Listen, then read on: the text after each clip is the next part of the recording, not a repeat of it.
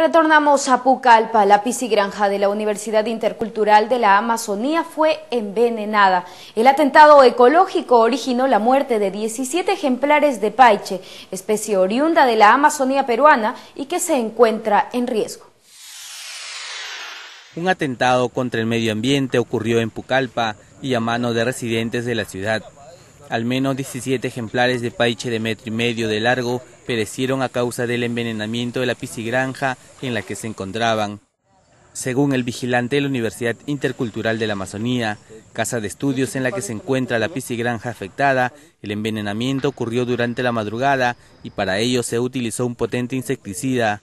El equipo de prensa de Ucayalina de Televisión registró en exclusiva el momento en que estos animales envenenados son retirados del lugar.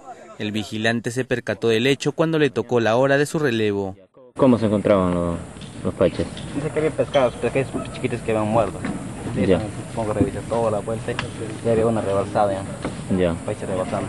En ese momento... Me muestro de, de rescato ese paiche y estaba recién fresquito, fresquito muerto. ¿Con qué veneno era? Con benteodán. Yo sigo acá más adelantito y estaba rebasando la botella de frasco. Estaba en el agua. Sí, estaba en el agua. El asesinato de estos peces representa un crimen ecológico. El paiche es una especie que requiere de cuidado para su reproducción en cautiverio.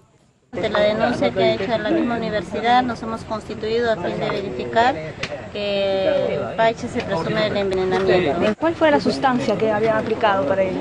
En realidad se desconoce todavía, ¿no? Este, se va a empezar las investigaciones preliminares. Que se compruebe que han muerto víctimas de envenenamiento, se procederá a las investigaciones y las penas oscilan de 4 a 6 años.